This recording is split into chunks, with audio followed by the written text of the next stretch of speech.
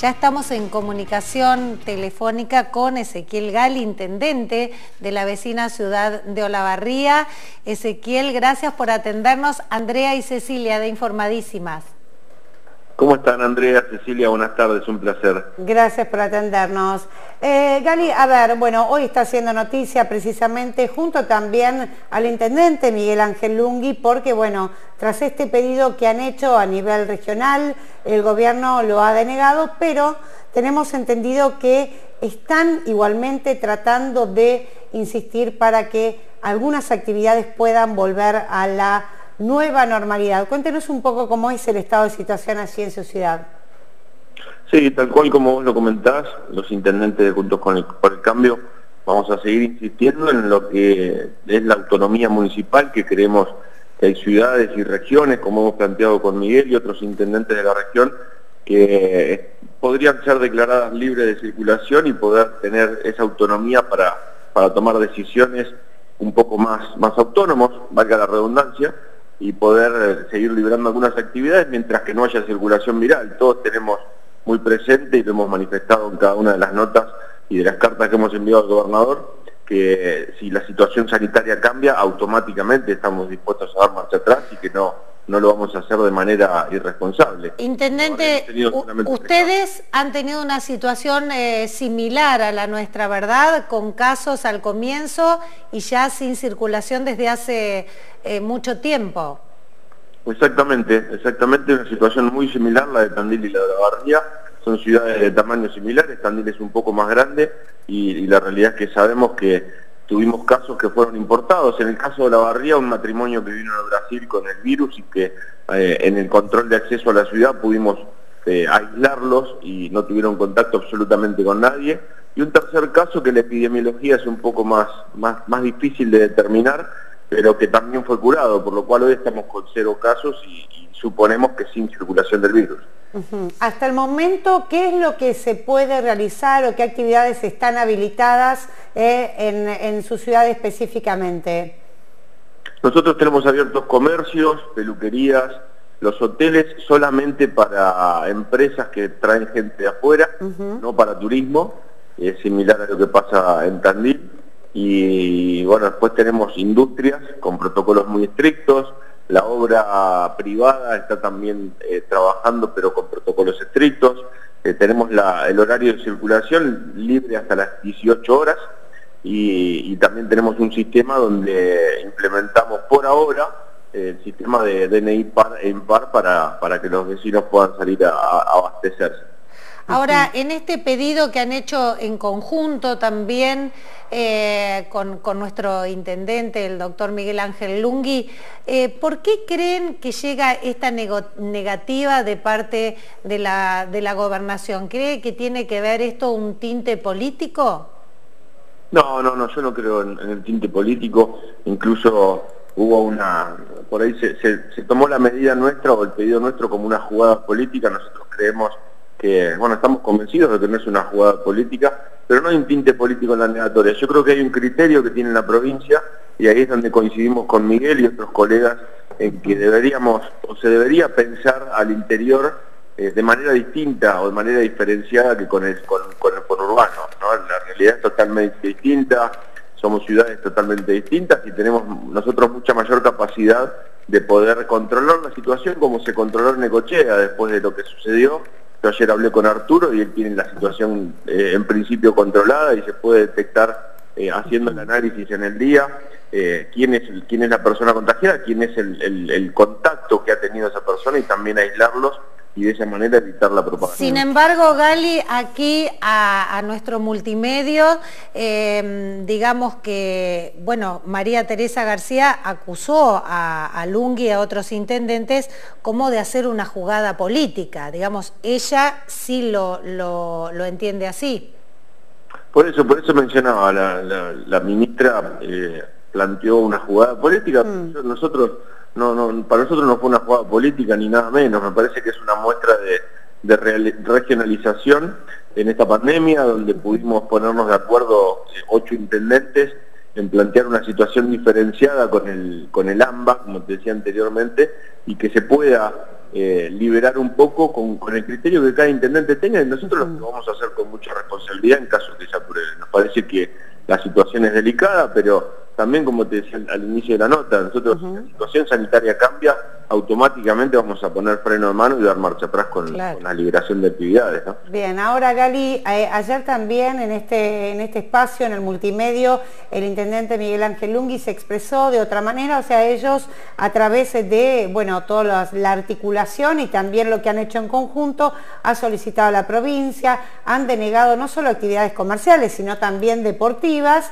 pero dijo que va a esperar la palabra del presidente eh, para ver si se prorroga una nueva, un nuevo periodo de cuarentena y a partir de allí va a tomar decisiones eh, más personales o más de cara al distrito hacia adentro. ¿No la varía? ¿También piensan hacer eh, o, tomar medidas en este sentido?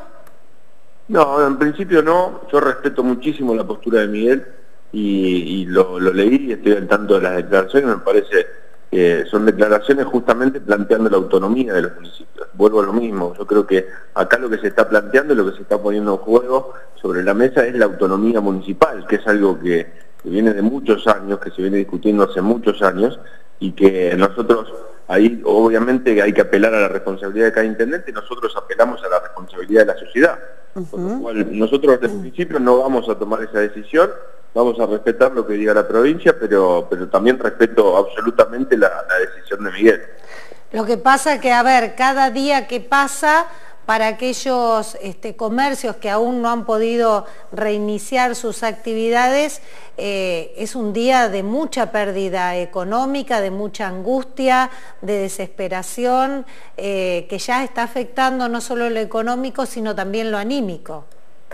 Totalmente, totalmente. Nosotros acá el lunes tuvimos una reunión con propietarios de gimnasios, son 50 que se han agrupado para generar una cámara y, ellos están planteando la, problemática, se están fundiendo, ¿no? no es algo que, sea ya una problemática que están vislumbrando a corto plazo. Se están, le están empezando a cerrar las puertas, se están empezando a vender los equipos y la realidad es que con protocolos estrictos en un lugar donde no hay circulación viral, o por lo menos en principio no la habría, no vemos, no vemos el por qué no. Entonces, por, la verdad es que no se entiende, no se entiende la, negativa sabiendo que, y creo que hasta la misma población dice, eh, bueno, si pasa algo, se da marcha atrás, creo que todo el mundo es consciente. ¿Por qué esta negativa o por qué se tarda tanto en contestar sabiendo que cada día, reitero, es eh, decisivo? Totalmente, bueno, la realidad es que, bueno, el, ministerio, eh, el equipo de la provincia está recibiendo muchos pedidos, ellos tienen realmente una cantidad de pedidos muy importantes, están trabajando.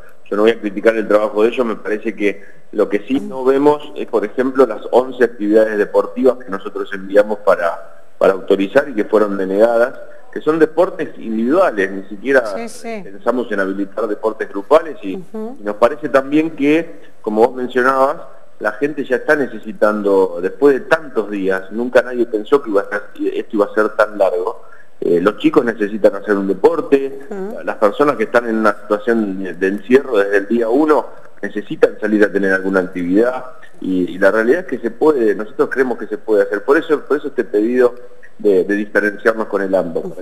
Vamos a recordar que estamos dialogando con el intendente de Olavarría, Ezequiel Gali. Gali, también ha sido llamativo, ¿no? Esto que aparece en su cuenta de Twitter, donde, bueno, allí pregunta hasta cuándo vamos a seguir, cuál es el plan para atacar el pico de la curva.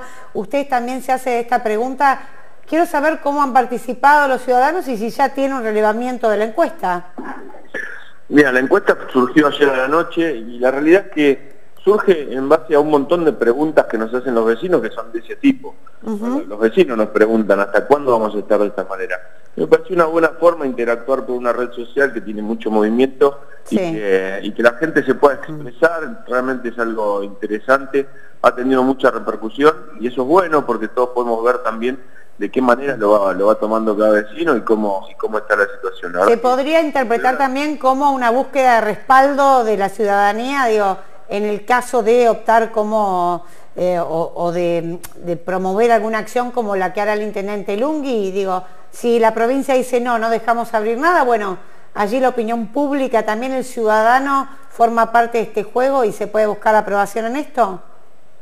Sí, siempre la búsqueda de consensos con la ciudadanía es lo que nosotros eh, buscamos a la, hora de tomar decisiones también. Uno tiene un equipo de trabajo, uno tiene un comité de crisis que lo aconseja, pero también es bueno saber qué piensa la ciudadanía. Esto es similar a lo que pasa con el presupuesto participativo. Siempre es bueno saber dónde la gente quiere que vayan los recursos del municipio o qué, qué decisión quiere la ciudadanía que uno tome. A veces escucharlos nos parece que es interesante y nos da también una pauta de hacia dónde va la, opinión de la ciudadanía. Ahora, eh, intendente... cree lo contrario. Eh, recordamos que estamos hablando con el intendente Ezequiel Gali, intendente de la vecina ciudad de Olavarría. Tengo entendido que ustedes suben estos protocolos o estos pedidos de apertura a través de una plataforma. Eh, viendo y considerando que pasan los días y hay respuestas negativas, ¿no se puede levantar un teléfono y decir, gobernador, la verdad la situación no da para más? Sí, el teléfono lo tenemos abierto y se lo planteamos permanentemente a la, ministra Teresa García. Ella tenemos un, chat de WhatsApp con ella y permanentemente le vamos enviando las inquietudes que tenemos y ella nos va dando respuesta. Ella ha recibido pedidos de, imagínense, de los 135 intendentes y, no todos tienen la misma problemática o la misma urgencia, pero la realidad es que ahí no podemos decir que no hay un teléfono abierto, sería faltar a la verdad y realmente la ministra tiene muy buena predisposición con nosotros. Bien, Intendente Ezequiel Gali, le queremos agradecer muchísimo por este paso y por este contacto con la radio y con el canal del Eco Multimedia Sentandil. Gracias a ustedes, un gran abrazo y un saludo a toda la población. Muy amable. Muy bien. Ezequiel Gali es el jefe comunal de Olavarría, bueno, dando cuenta, hoy es noticia, ¿no? En muchos eh, portales digitales, también muy tempranito, hoy en la televisión, en canales nacionales, eh, salió allí también a dar declaraciones junto a Miguel Lungui. Sí, recordemos... Y un, poco más rebelde. Claro, este recordemos que... Eh, sí lo respalda en esto que han pedido varios intendentes de la apertura, sí, claro, que no, quería ser insistente, pero yo digo, por, si, ¿por qué no? O sea, no porque... Claro.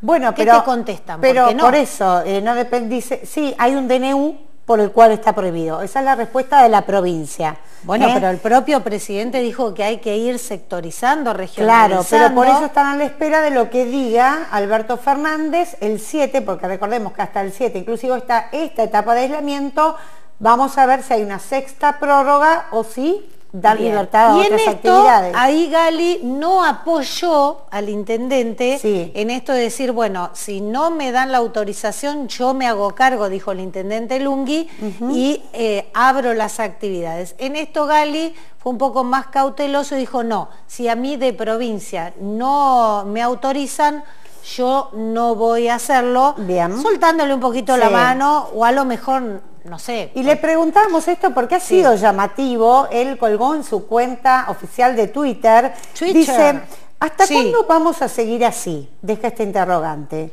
¿Tiene sentido seguir estirando el aislamiento? ¿Cuál es el plan para atacar el pico de la curva? Le faltó el acento, ¿cuál?